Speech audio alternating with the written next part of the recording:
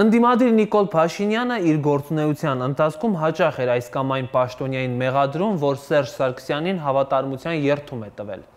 Այսինքն անկախ ամեն հանգամանքից պատրաստ է մինչև վերջ ծառայել Սերժ Սարգսյանին։ Այնպես որ Աղվան Հովսեփյանը քնչական կոմիտեի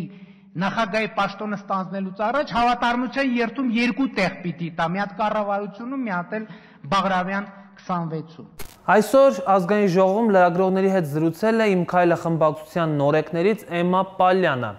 ով պատասխանելով հարցին, թե երբևէ մտածել է իշխանությունից դուրս գալու մասին նկատի ունենալով նրա ձախողումները, ասել է, որ ցանկացած իրավիճակում երբեք դուրս չի գա իմ քայլը խմբակցությունից եւ չի լքի իր քաղաքական թիմը։